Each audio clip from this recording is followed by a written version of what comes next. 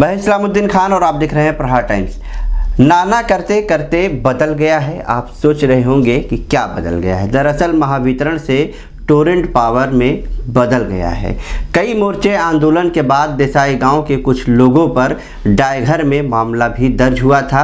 अभी नहीं, उसी समय विरोध के दौरान पूरे शहर के जाने माने हस्तियों ने पूरी ज़ोर लगा दी थी। उसके बाद भी टोरेंट पावर अपनी पाँव पसार चुका है। यानी टोरेंट पावर उन विरोधियों से आगे निकल गई है, जिन लोगों ने कई महीनों से टोरेंट के खिलाफ अपनी आवाज़ उठाई थी। टोरेंट के खिलाफ आप सबने सुना होगा कि नेताओं ने तो यहाँ तक अपनी जान देने की भी बात कही थी। बहरहाल, उनकी जान की परवाह नहीं की टोरेंट ने और मुमरा कलवा सील डायघर में अपना कब्जा जमा चुका है। अब उन नेताओं पर, उन समाज सेवकों पर और उन नगर सेवकों पर भी सवाल उठता है कि आखिर क्यों चुप हैं? टोरेंट पावर आ गई है अपना चार्ज भी संभाल रही है। विरोधियों को, जो टोरेंट पावर के कई महीनों से विरोध कर रहे थे, आखिर कहाँ गए? इसलिए कहना सही साबित हो रहा है कि नाना करते करते हाँ में बदल गया। महावितरण से टोरेंट पावर में बदल गया है। एक बात हमें और पता चला है, सूत्रों द्वारा जो हमें पता चला है कि विरोध करने वालों में से कुछ लोग हैं जो टोरेंट पावर ने जिन्हें मना ली है। अब ये नहीं बता सकते कि आखिर कैसे टोरेंट पावर ने उन्हें मनाई है, या क्या वजह रही होगी। लेकिन इतना पता चला है कि टोरेंट पावर विरोध करने वालों में से कुछ लोगों को ज़रूर मना ली है। बहरहाल, वो उनका मामला है, लेकिन कई महीनों से जो जनता की आस थी कि टोरेंट पावर नहीं आएगी और वो अब शहर में आ चुकी है, आपके सामने है। एक बात और हम आपको बता दें कि इसी मुद्दे पर चुनाव के दरमियान प्रहार टाइम्स के आमने सामने शो में नईम खान ने कहा था कि टोरेंट अगर नहीं आई तो मैं अपना बंगला छोड़ दूँगा। तो वहीं दूसरी तरफ़ शमीम खान ने कहा था कि मैं अपनी जान दे दूँगा, जिसका शहर में खूब वाहवाही हुई, लेकिन उसका भी असर आपके सामने है। क्या हुआ? कुछ भी नहीं। लेकिन नईम खान की बात सच हुई।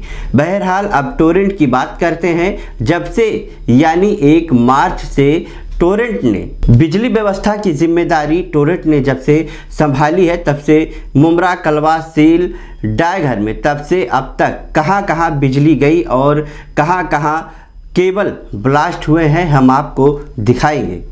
मुमरा में बिजली व्यवस्था इतना ख़राब हो गई है कि लोगों का जीना मुहाल हो गया है। मगर पाँच मार्च लगभग मुमरा के शहर में, हर हिस्से में बिजली पाँच से छः घंटा गायब थी। चाहे वो अलमास कॉलोनी हो, चाहे संजय नगर हो, चाहे वो सम्राट नगर हो, लगभग इसी तरह मुमरा शहर अंधेरे में रहा। यानी बिजली व्यवस्था सुधरने के बजाय और ख़राब होती नज़र आ रही है। सबसे बड़ी बात यह है कि बिजली जाने का असर पढ़ाई करने वाले छात्रों पर पड़ रहा है। बिजली ना होने की वजह से परीक्षा में दिक्कतें हो रही हैं। इलाके के लोगों ने बताया कि बिजली की वजह से लोगों को पानी भी नहीं मिल पा रहा है, क्योंकि पानी आने के वक्त बिजली नहीं रहती है। तस्वीरें देखें, ये पूरा शहर बिजली ना होने की वजह से अंधेरे में है, पूरे शहर में अंधेरे की वजह से सन्नाटा पसरा हुआ है। आपको बता दें कि दसवीं और बारहवीं की परीक्षा चल रही है और बिजली बिना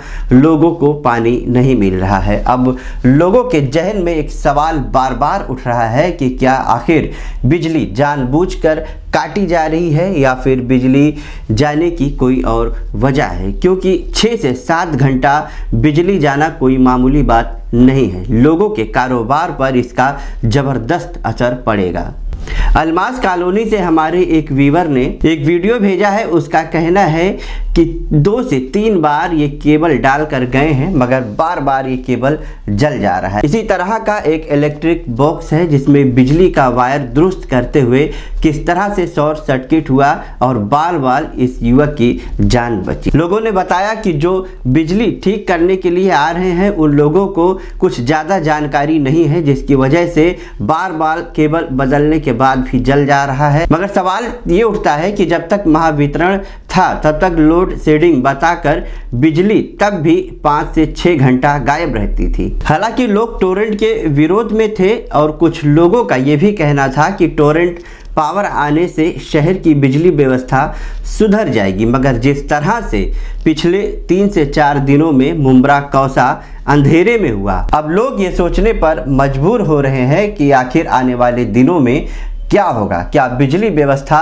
सुधरेगी या फिर टोरेंट पावर आने के बाद भी इस शहर में अंधेरा रहेगा? टोरेंट के खिलाफ लोग सोशल मीडिया पर भी अपनी भड़ास निकाल रहे हैं क्योंकि ज़्यादातर लोग टोरेंट के खिलाफ हैं। लगातार बिजली कटौती की शिकायतें सोशल मीडिया पर चर्चाएँ तेज़ हो रही हैं क्योंकि तीन से चार दिन जो पिछले गए हैं, उनमें पूरा मुमरा शहर लगभग अंधेरे में रहा।